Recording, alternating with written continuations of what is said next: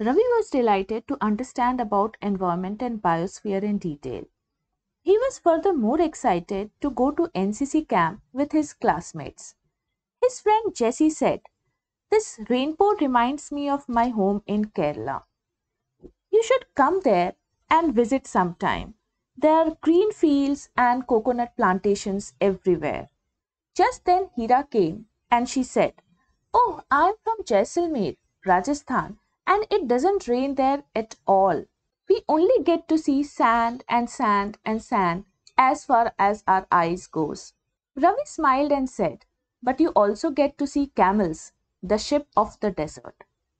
Now Ravi started thinking, at one place it rains so much and at other it doesn't rain at all. Why do animals, vegetation and the way people live vary from place to place? To understand this better, let us understand three terms and their differences. Habitat, biosphere and ecosystem. First, we are going to understand what habitat is.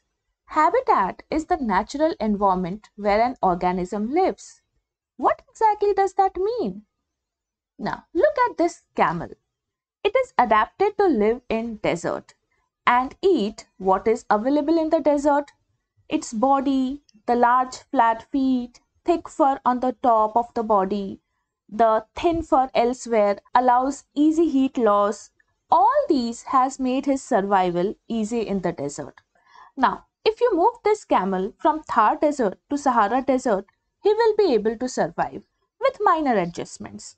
But if you move him from desert to Antarctica, will he be able to survive there too? No, because his habitat is desert. So when a living being is adapted to live in a particular area or a particular surrounding, that particular surrounding or that area is called the habitat of that organism. Next, what is biosphere? Now we already have discussed about biosphere in detail. Any area on earth where living things can be found, that area is called biosphere. The living things survive with the help of land, water and air and any such domain where any organism is found on earth, it is called the biosphere. Now comes the ecosystem, which is part of your chapter. What is ecosystem? Well, ecosystem is a community of living organisms such as producers, for example, plants and trees, consumers like deers, lions, well, one is primary consumer and the other is secondary consumer. And then we have third section like decomposers. For example, microorganisms. When all of them live in a particular area with similar abiotic conditions, what we call it is ecosystem. Now, ecosystem has no particular size. It can be as large as desert or as small as a tree. Now, ecosystem does require the abiotic factors as well. For example, water, temperature, soil to thrive. In an ecosystem, there is energy flow. Plants get light and they make food and then consumers feed on them. Decomposers further depend on them for survival. Well, from the sound of it, it looks like simple food chain. Of course, there is food chain in the ecosystem, but the food chain is not as simple as it sounds. In an ecosystem, food chain does not follow linear pattern.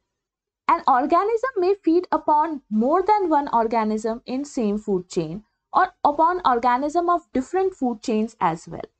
Now let us understand this with the help of a few examples. Now look at this grassland ecosystem. Grassland ecosystem is an area where vegetation is dominated by grasses. The primary consumers dependent on grasses are cows, rabbits, goats, and the secondary and tertiary consumers are snake, foxes, eagles, and hawks. The abiotic requirement of all these organisms, that is temperature, sunlight, nutrients, is almost similar and thus they have created a system to live together with similar abiotic requirements and dependency on each other for food. Now look at Arctic ecosystem. Arctic ecosystems are characterized by their cold climate and continuous daylight in summer. The plants are mostly mosses, lichens, Animals found are Arctic foxes, polar bears, etc. Their requirement for abiotic factors like temperature and sunlight are different from grasslands. Now, they have also created a mutual understanding of staying together and living in that particular environment. So, this particular Arctic system becomes the ecosystem for these kind of animals. In the next example, we have rainforest ecosystem. Rainforest ecosystem is an area of tall, mostly evergreen trees and high amount of rainfall. It has rich biodiversity with varied plants and animals. Rainforests, grass and Arctic are all large ecosystem. We also have small ecosystem like pond or man-made ecosystems like aquarium. Human interactions has changed the world and its environment. Early humans adapted themselves to the surrounding, but now human beings change the environment according to their needs. Right from the advent of wheel to barter system, commercial exchange of goods, industrial revolution and transportation, and now we have entered the age of information. Social media is uniting the world. But the downside of all of this is the amount of electricity consumed by us and the effect on global warming. We need to create a world of balance to bring back Earth to its functional shape. We all need to work towards sustainable development for a better future. If you have gained any knowledge, please do subscribe and like the video. Thank you.